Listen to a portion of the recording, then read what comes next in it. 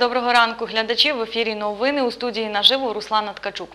У Вінниці планують встановити валідатори для безготівкового розрахунку за поїздки не лише в муніципальному транспорті, а й у маршрутних таксі. За інформацією підприємства Вінниця Картсервіс, початок робіт у маршрутках запланований на вересень. До кінця серпня усі трамваї, тролейбуси та автобуси будуть облаштовані валідаторами. Згодом розпочнеться активна робота над встановленням системи на бортах маршрутних таксі. Задимлення електропоїзда Козятин-Жмеренка ймовірно спричинили невідомі особи, які занесли туди вогонь. Так ситуацію з загоранням потяга коментує прес-служба Укрзалізниці. Під час огляду рухомого складу з'ясувалося, що двері службового тамбура кабіни керування були напіввідчинені. Спрацювала охоронна сигналізація кабіни керування хвостового вагона. Комісія з розслідування випадку встановила, що вогонь до кабіни був занесений невідомими особами.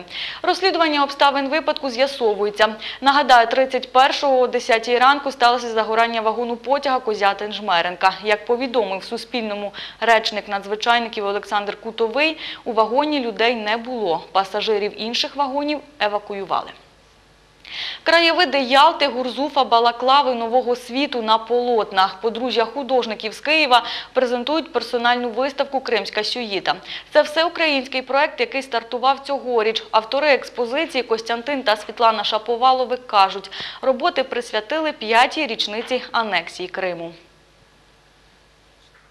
Вікторія Наконечна приїхала з Києва. Дівчина навчається в академії мистецтв на організатора свят. До Вінницького художнього музею прийшла вперше. Неперевершені картини мені дуже сподобалися. Неймовірна картина Схід над морем, наприклад. Як корона сонце відображається, дуже красиво. На полотнах літнє море в Ялтинському порту, сонячний день у Гурзуфі, причал у Казантипі, краєвиди Ялти, Балаклави, Нового світу. Кримська сюїта – це спільний проект Світлани та Костянтина Шаповалових, художників з Києва. Кажуть, виставку присвятили п'ятій річниці анексії півострова. Ми хотіли згадати про Крим, ми хотіли показати трошки цього Крим, який ми пам'ятаємо, який ми бачили. А в ті роки, коли ще це було до анексії, ми хотіли ну, дати людям спогади. Тим паче, що багато людей є це переселенці з Криму. Ну, скажімо, виставка була в Чернігові, перша в цьому році. То там дуже багато переселенців з Криму. Вони відвідали виставку, вони були на відкритті. Люди деякі плакали, текли сльози. Ну, згадували ті місця, де вони саме були, де саме ходили, де жили. В експозиції майже 60 картин, створених у техніці олійного живопису. 12 з них написала Світлана Шаповалова. Над ними працювала протягом двох років. Художниця говорить, це її восьма персональна виставка. Я не пишу на замовлення. Е, Це якесь е, відчуття, внутрішнє відчуття, внутрішній позов, а, натхнення е, певного сюжету. Ось якщо дощ або шторм, або якесь місто. І так е, народжується картина. Кримська сюїта – це всеукраїнський проект. В травні експозицію презентували в Чернігові, згодом в Черкасах. Дуже має велике естетичне значення, коли ми дивимося на красу Божого творіння. Ми можемо дивитися на небо, на гори, на міста кримські. Я дуже люблю Крим.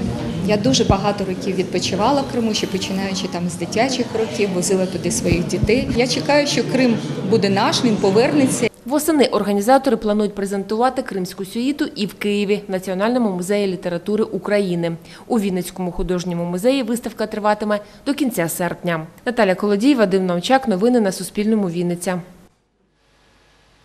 До лікарні з різного ступеню важкості тілесних ушкоджень доправили водія ВАЗу та п'ятьох неповнолітніх дітей, які потрапили в автопригоду поблизу села Кудлаї Немирівського району.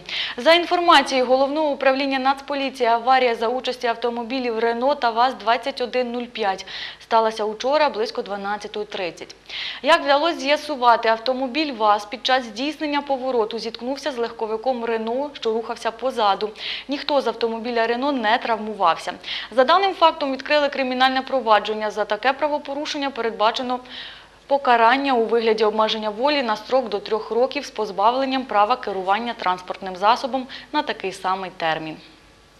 На вітрильному катамарані через Атлантику подружжя Володимир та Анастасія Бровко повернулися з подорожі у відкритому океані. Маршрут здійснили разом з екіпажем у кількості п'ятьох осіб. Для цього, кажуть, пройшли спеціальні навчання в Туреччині на Середземному морі та одержали шкіперські ліцензії. Для подорожі команда орендувала 14-метровий вітрильний катамаран. Тривала подорож два місяці. На відпочинок до Польщі поїхало 20 дітей, учасників операції Об'єднаних сил. За інформацією прес-служби Вінницької облдержадміністрації, це п'ятий оздоровчий відпочинок для дітей, родини яких постраждали в ході проведення антитерористичної операції. Всі витрати щодо перебування вінничан на відпочинку Взяла на себе польська сторона. Гроші на перевезення виділили з обласного бюджету. І наостанок про погоду. У Вінниці впродовж дня похмуро, ймовірні опади, стопчики термометра фіксуватимуть плюс 14, плюс 22. Поки це вся інформація, наступний випуск дивіться за півгодини.